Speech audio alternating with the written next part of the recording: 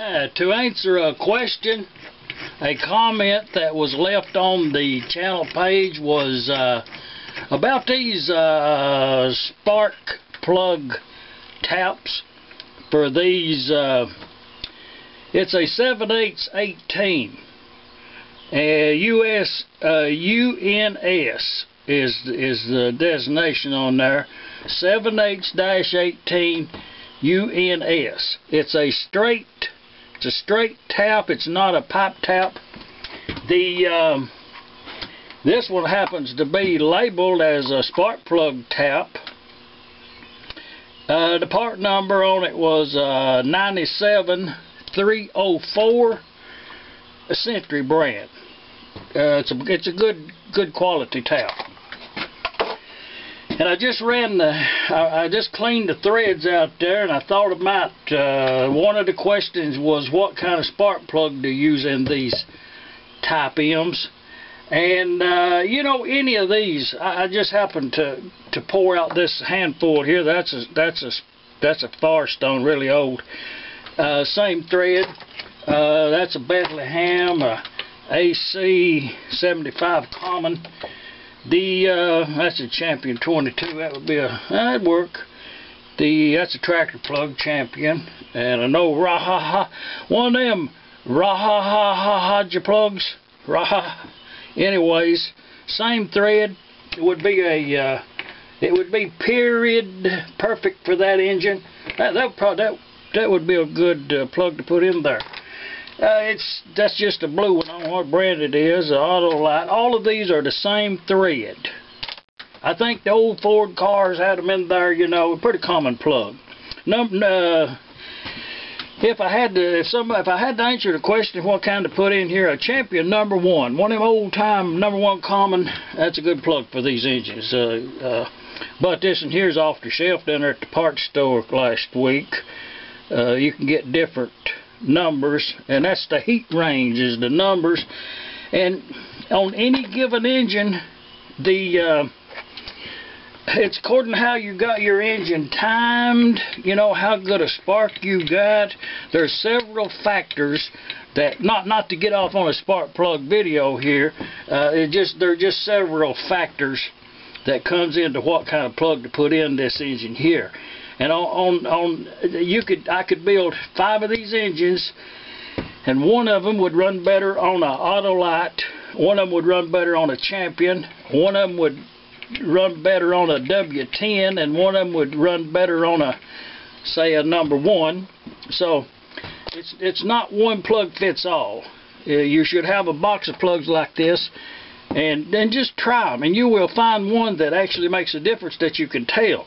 When everything else fails, just get you one of these Auto Autolite 3076. You know, about three bucks, 350, unless you buy them on the internet. uh, them boys on that internet there can get about 10 or 12 dollars out of one of these plugs there when they get somebody bidding on it. It's just uncalled for. But anyways, the, the, what the more important than the plug is the index.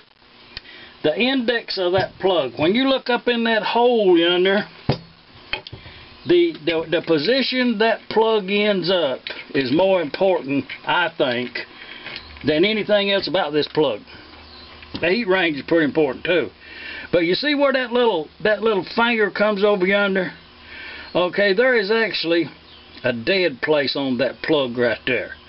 If this right here is a facing the open chamber, then the spark has to come around it. If this is like this right here, then it just hits it head on. But in this head here, you can, if you just put your finger down in there, you can uh, easily assert that the that flame should go straight back. So what you do, put a little mark on the plug right here, screw it in,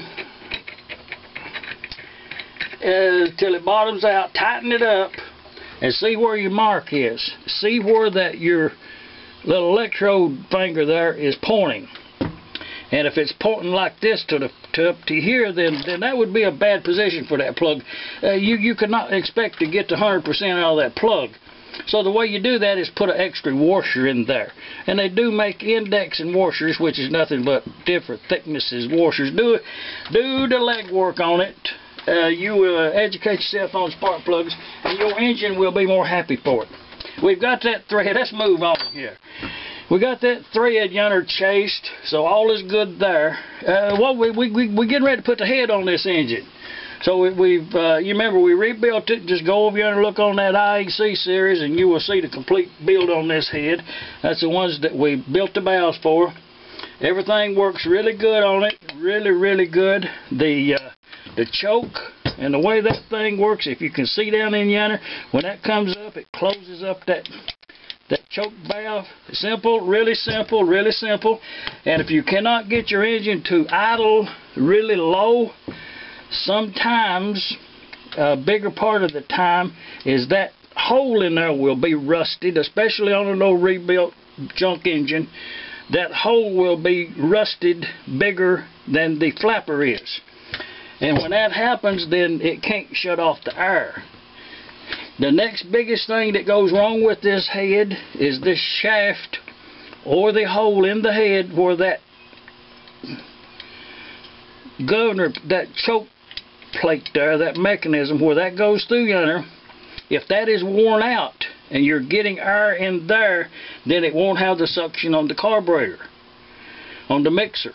So if you have a loose shaft here, if that shaft is loose, then the only way to fix that is to take it out and put a bushing in it uh, or an oversized shaft or both. But we're gonna let's put this on let's put this on the engine.